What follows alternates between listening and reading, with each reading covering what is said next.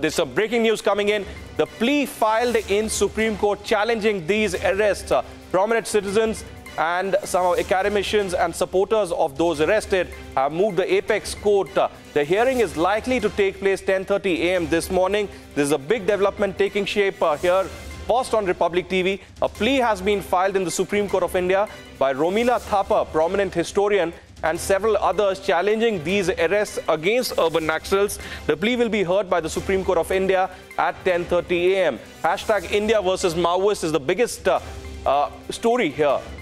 This uh, morning, in fact, uh, Ridham Anand Bhardwaj, our legal editor, and Nalini Sharma, our legal correspondent, are closely monitoring this story from the Supreme Court of India. But this is a big development taking shape. Plea against the arrests filed by Romila Thapar and in fact, uh, if I can go directly across to our legal editor, Ridham Anand Bhardwaj.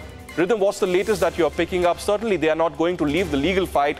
Yesterday, they approached the Delhi court, uh, uh, and now they are moving the Supreme Court of India, and a crucial plea is going to be heard at 10.30 a.m. What's expected?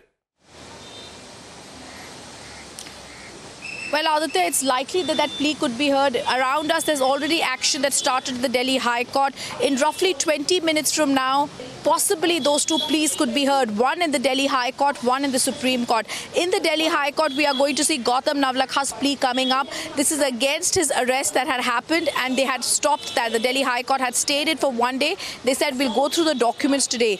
In the Supreme Court, there is a likely plea that's going to be mentioned at 10.30 a.m. today that's going to be filed by Romila Thapar and others. This is going to be against the arrest of these human rights so-called defenders. This plea is going to state that all these actions that have taken place yesterday against these people is arbitrary.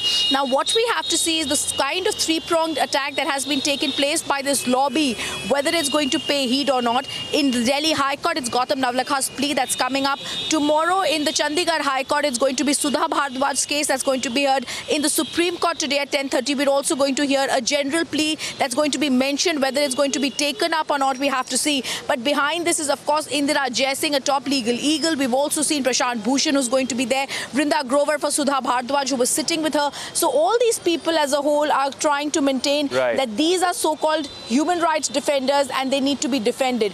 Urban Naxals as a whole have to be questioned here. We've been trying to say, and the, the police people who've been here, they have only said one thing. There was a conspiracy hatched by them under the Unlawful Activities Prevention Act that needs to be probed.